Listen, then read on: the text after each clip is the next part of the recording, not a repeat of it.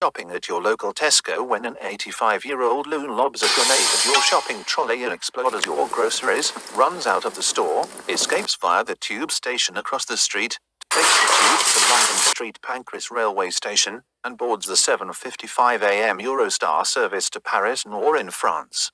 Hundreds of pounds of goods are now burning in front of you. Is this image familiar to you?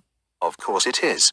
Many people often suffer from the same experience, and it is because they have made a fatal mistake in their shopping routine. Do you see it? The answer is obvious. Your shopping trolley is an unarmored target with no method of defending itself, which is an invitation for disaster. Today, we will show you how to modify your shopping trolley to successfully shop at a Tesco Express in the dangerous area that is South London at 3 am.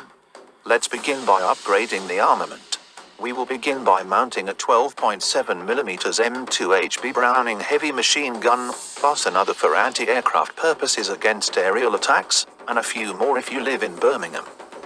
We can also install a trophy active protection system as a countermeasure against anti-tank guided missiles, rocket-propelled grenades, anti-tank rockets, and high-explosive anti-tank rounds.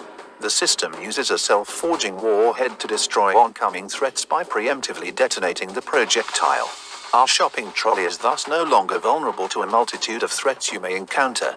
The only thing that our shopping trolley cannot effectively defend against now are kinetic energy penetrators, which is why we will mount ATGM launchers on our shopping trolley to penetrate the enemy before the enemy penetrates the trolley.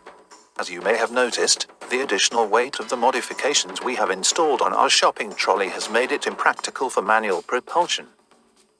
We can solve this problem by mounting a 5.4-litre 12-cylinder twin-turbocharged petrol engine producing 1,100 brake horsepower at 7,800 rpm and 5-speed manual transmission.